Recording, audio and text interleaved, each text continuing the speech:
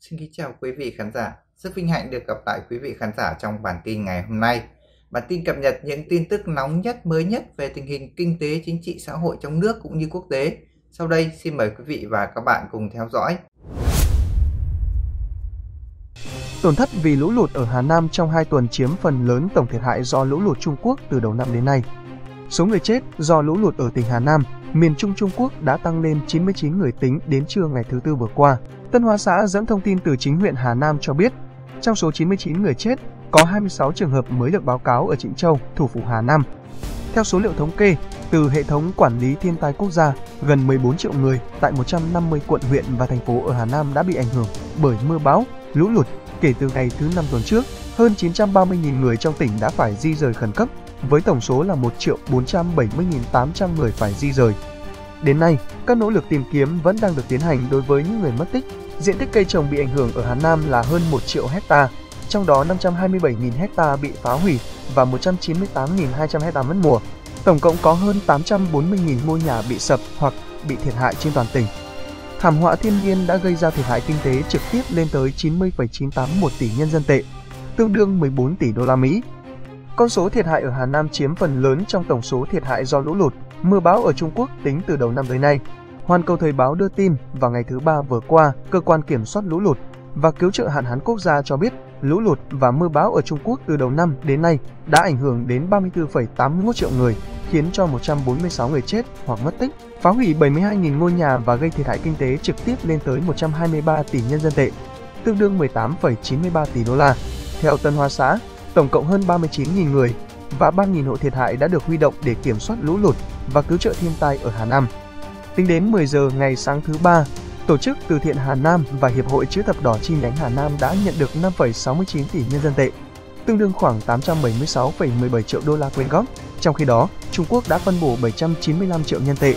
tương đương khoảng 122,4 triệu đô la để tái thiết các khu vực của một số tỉnh bị ảnh hưởng nặng nề bởi mưa bão, lũ lụt. Ủy ban Cải cách và Phát triển Quốc gia cho biết, số tiền từ nguồn dự trữ tài chính trung ương này sẽ hỗ trợ việc tái thiết cơ sở hạ tầng và cơ sở dịch vụ công cộng sau thảm họa ở các tỉnh Hà Nam, Tứ Xuyên, Sơn Tây và Chiết Giang. Kể từ tháng này, những trận mưa lớn tiếp tục ập đến Hà Nam, Tứ Xuyên và Sơn Tây và cơn bão số 3 đã đổ bộ hai lần vào Chiết Giang, gây ra lũ lụt nghiêm trọng,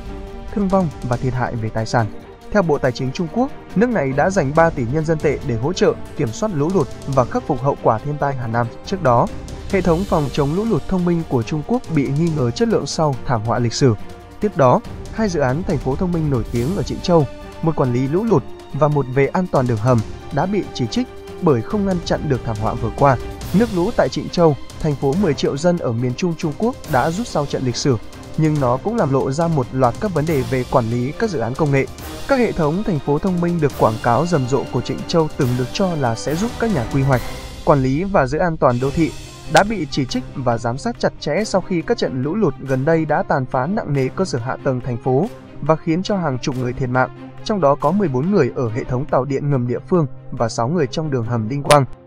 Một trong những dự án công nghệ được quan tâm là hệ thống ngăn lũ lụt theo thời gian thực, được lắp đặt tại thành phố vào tháng 12 năm ngoái bởi công ty công nghệ hệ thống thông minh hàng không vũ trụ Thần Châu, một chi nhánh của tập đoàn khoa học và công nghệ hàng không vũ trụ Trung Quốc thuộc sở hữu nhà nước. Theo các tuyên bố chính thức, hệ thống được thiết kế để giúp cho chính quyền thành phố giám sát mực nước trong thời gian thực thông qua các cảm biến và phân tích thông minh,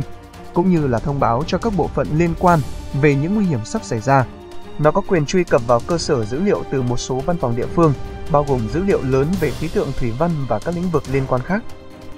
Công nghệ còn lại là hệ thống giám sát đường hầm Đinh Quang được lắp đặt như một phần của sáng kiến của thành phố nhằm theo dõi an toàn đường hầm. Một báo cáo truyền thông chính thức cho biết, các camera và cảm biến trong đường hầm đã làm cho cơ sở hạ tầng trở nên thông minh và thậm chí có thể gửi cảnh báo qua ứng dụng trên smartphone về tai nạn hoặc nguy hiểm sắp xảy ra. Aerospace Smart System, đơn vị phát triển hệ thống giám sát lũ lụt, đã không trả lời các cuộc gọi và phát yêu cầu bình luận. Trung tâm đường hầm Trịnh Châu, nơi chịu trách nhiệm vận hành đường hầm cũng không trả lời các yêu cầu bình luận. Các câu hỏi về hệ thống thành phố thông minh đã xuất hiện trên mạng xã hội Trung Quốc.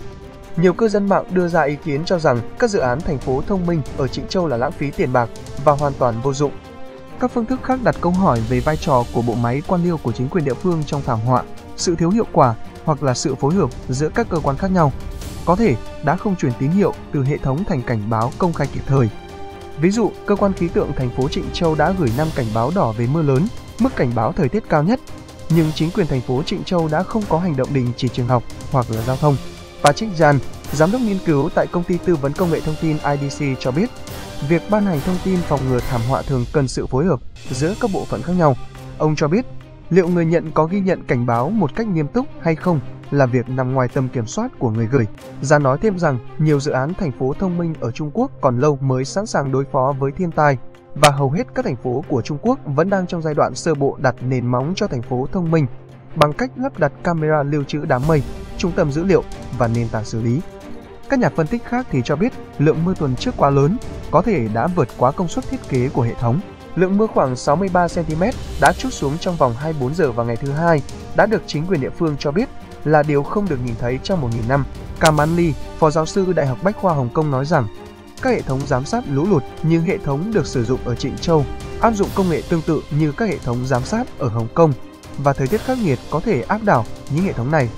Thành phố thông minh đã trở thành một từ thông dụng trong những năm gần đây ở Trung Quốc khi các chính quyền địa phương mong muốn sử dụng công nghệ mới để số hóa việc quản lý thành phố và cải thiện mức sống của người dân. Thuật ngữ này cũng đã được sử dụng bao gồm tất cả mọi thứ, từ giám sát đến cơ sở hạ tầng đô thị, dịch vụ thành phố, giao thông vận tải và quản lý năng lượng. Những gã khổng lồ công nghệ của Trung Quốc bao gồm Alibaba Group Holding,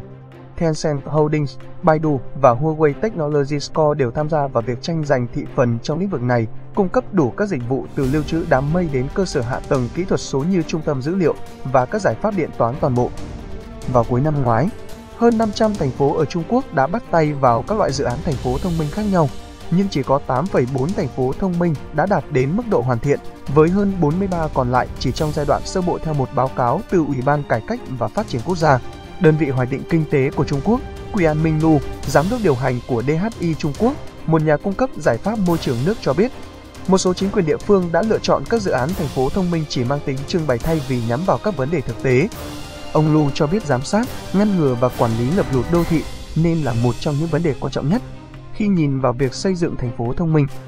Một chuyên gia khác cho biết, khoảng cách giữa tầm nhìn và thực tế là một vấn đề đối với nhiều dự án do chính phủ lãnh đạo ở Trung Quốc. Mặc dù việc quản lý dữ liệu lớn đang tạo ra sự khác biệt. Pana, một chuyên gia quy hoạch đô thị người Pháp đã làm việc hơn một thập kỷ tại Trung Quốc cho biết, thành phố thông minh chỉ là một khái niệm trong các dự án thiết kế đô thị hơn là một thực tế ở Trung Quốc. Nhưng việc thu thập, xử lý và hợp nhất dữ liệu lớn đang dẫn đến những trải nghiệm đô thị mới ở các thành phố lớn nhất của đất nước này chuỗi cung ứng toàn cầu lại đứt gáy vì lũ lụt ở Trung Quốc và châu Á. Đứt gáy trong ngành vận tải biển bùng phát mạnh trong năm nay.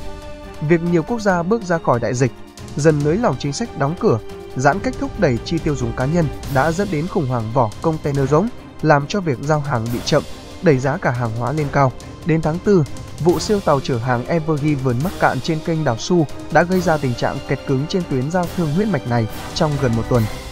Vừa qua, số ca bùng phát mới tăng mạnh ở nhiều tỉnh thành miền Nam Trung Quốc, gây ra tình trạng ách tắc tại nhiều cảng biển, một lần nữa đẩy giá cước vận tải tăng vọt. Và giờ là câu chuyện đứt gãy kết nối đường sắt cũng như nguồn cung nhiều mặt hàng nông sản do lũ lụt gây ra lần lượt ở châu Âu và Trung Quốc. Mưa lớn kèm lũ lụt đã tàn phá khu vực Tây U, những nơi chịu ảnh hưởng nặng nề nhất nằm ở Đức và Mỹ. Nhiều vùng của Thụy Sĩ, Luxembourg và Hà Lan cũng chịu ảnh hưởng. Điều này đang thực sự tạo ra đứt gãy trong chuỗi cung bởi các tuyến đường sắt đã bị hư hại nặng nề. Ông Haxi cho biết. Trên thực tế, tuyến vận tải đường sắt chạy từ Cộng hòa Séc, Slovakia đến các cảng Rotterdam và Hamburg ở Đức đã bị hủy hoại nghiêm trọng, làm gián đoạn việc vận chuyển hàng hóa. Tác động đứt gãy này mang tính lan tỏa, đơn cử như với trường hợp của ThyssenKrupp. Hãng chế tạo thép lớn nhất của Đức đã không thể tiếp nhận được nguồn nguyên liệu thô đầu vào do lũ lụt. Trinh Châu, thủ phủ của Hà Nam là điểm giao kết các tuyến đường sắt cao tốc trục Bắc, Nam, Đông Tây đi tới nhiều thành phố lớn ở Trung Quốc. Việc vận chuyển than đá, nguồn nguyên liệu cho nhiệt điện từ vùng khai mỏ ở Nội Mông, Thiểm Tây qua Trịnh Châu rồi, đến khu vực miền Trung, miền Đông Trung Quốc bị ảnh hưởng nặng. Các nhà máy nhiệt điện phải vật lộn tìm kiếm nguồn than đá để đáp ứng nhu cầu tiêu thụ điện tăng vọt. Than đá để đáp ứng nhu cầu tiêu thụ điện tăng. Điểm tin vừa rồi đã kết thúc chương trình của chúng tôi ngày hôm nay. Xin kính chào và hẹn gặp lại quý vị trong những bản tin tiếp theo.